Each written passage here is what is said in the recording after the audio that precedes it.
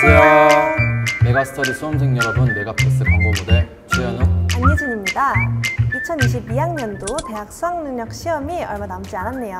작년에 이어 올해도 코로나로 인해 많이 힘드셨을 텐데 수험생 여러분들께서 끝까지 함께 잘 해주셔서 드디어 여기까지 왔습니다.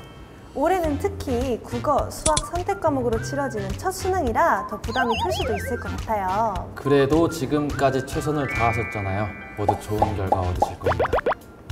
그럼 수능 날까지 컨디션 유지 잘 하시길 저희도 끝까지 함께 응원하겠습니다.